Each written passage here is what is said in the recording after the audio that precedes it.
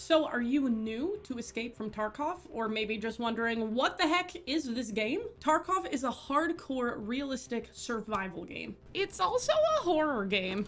Ah!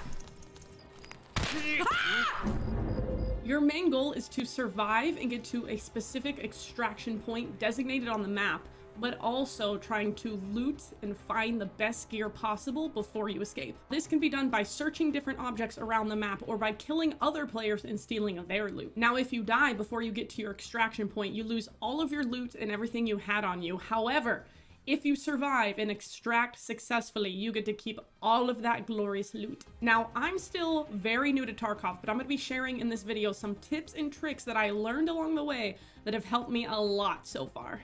In Escape from Tarkov, you can either choose to play as a SCAV, short for scavenger, or a PMC, short for private military company. A PMC is your character with your gear that you can set at the menu. A SCAV has a set of randomized gear that the game generates for you. Usually it's very minimal with little to no heals or a bad weapon, but the upside is if you die during your match, or raid as it's called in this game, and lose everything, that gear was technically never yours to begin with, so there's less pressure to survive survive. Playing as a scav has a 20 minute cooldown, but I suggest playing as often as you can. Other scavs you see in your raid are a mix between AI and other players.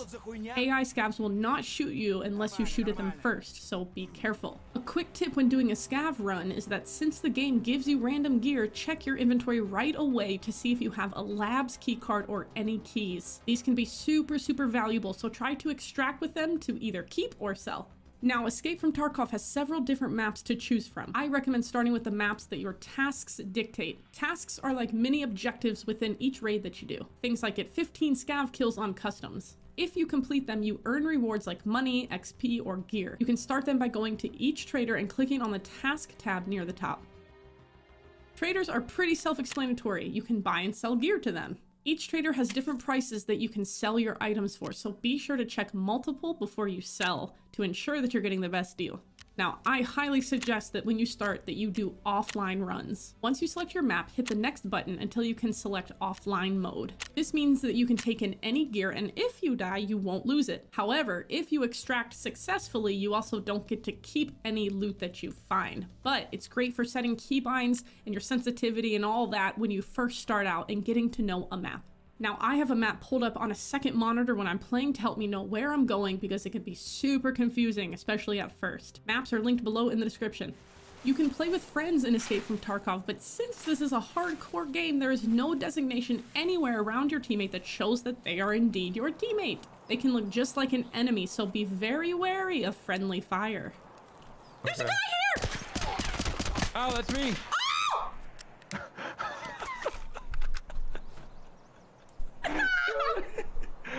Take my key card.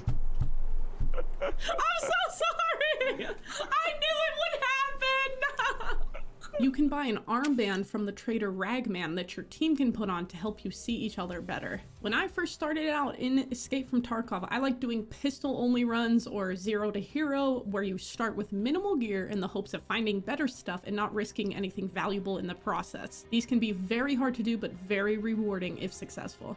The quality of your ammo matters in this game, and while this is something that I'm still learning, this ammo chart has helped me out a ton. I will link it below in the description. Basically, cheaper ammo doesn't have as good armor penetration, so you may unload a clip into an enemy's chest, only to have them turn around and one-shot you. This can happen because you are using ammo with a low penetration value, so just be mindful of that. Speaking of ammo, Tarkov doesn't have an overlay that shows you how much ammo you have left in your clip, so pressing Alt plus T is a great way to check that. Now a little tip for making more money is when you want to sell a weapon, disassemble it first by right clicking and sell the parts individually. First sell what you can to the trader skier and whatever is left to the mechanic for a higher profit than just selling the gun.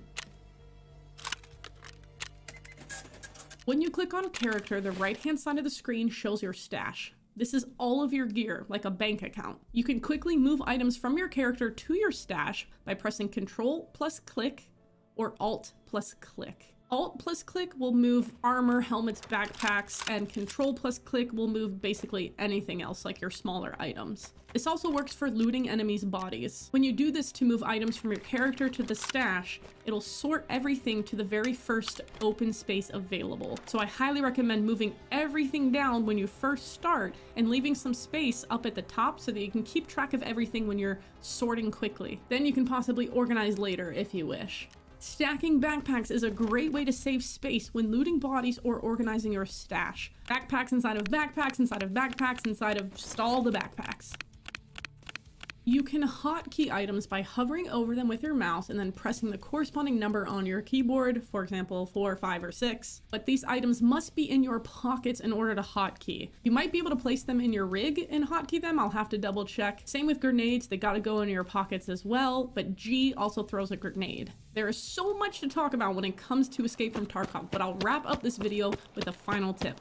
Listening for sound cues is super critical in this game. I like to slow walk or slow crouch by pressing caps lock.